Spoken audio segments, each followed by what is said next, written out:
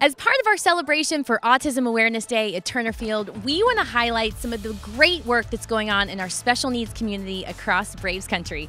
I am here in Athens, Georgia today at Extra Special People to hang out with some very special kids.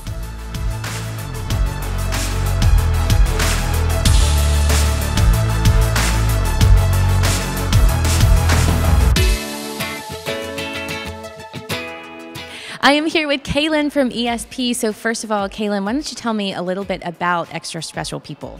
So, we are a nonprofit in small town Watkinsville, Georgia, and we serve mainly children and young adults with developmental and cognitive disabilities.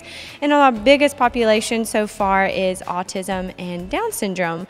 Well, we have an Autism Awareness Day actually at Turner Field today. So, what is important for people to know about autism?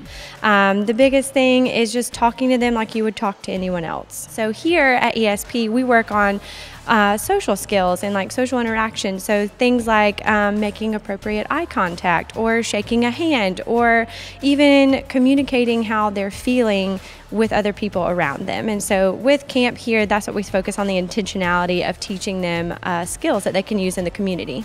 We're doing all kinds of skill building. So they're teaching them, you know, social skills, physical skills, um, you name it. We kind of do it. Some, exa- I mean, today you probably saw them playing golf, and this afternoon we're going to work on swimming skills. So it's kind of a end all be all. Like we do it all. I am here with Jake. He's the program director here at ESP. So, Jake, first of all, walk me through a day at summer camp with extra special people. So, when we write down, our first goal is truly to have fun. Um, they have nine months of the year to go to school uh, and to have to worry about school and to have to worry about tests and have to worry about all these things that bring everybody down. So at summer camp, we want to we want to be dirty, we want to get wild, we uh, want to be crazy, and so just having fun is uh, pretty much the ultimate goal. And I guess uh, I guess I need to say keeping them safe is pretty important too.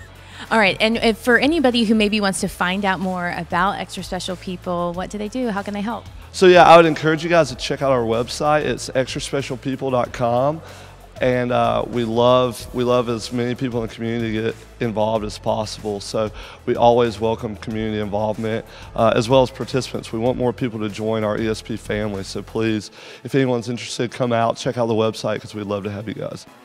Special thanks to ESP for having me out today, and thank you, Braves Country, for being a part of our Autism Awareness Day.